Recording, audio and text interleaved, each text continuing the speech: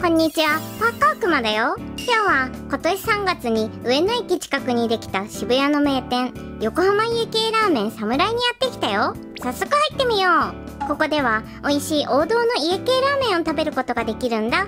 僕は特豚塩大盛り、炙り豚バラをトッピングで注文したよ。こちらが特塩。トッピングは言わずもがなのほうれん草と大きな海苔。がっしりと噛み応えがありつつ、ほろほろとほどけるチャーシューだよ。追加トッピングした炙り豚バラはトロトロで柔らかく、味の濃いタレが染み込んでいるんだ。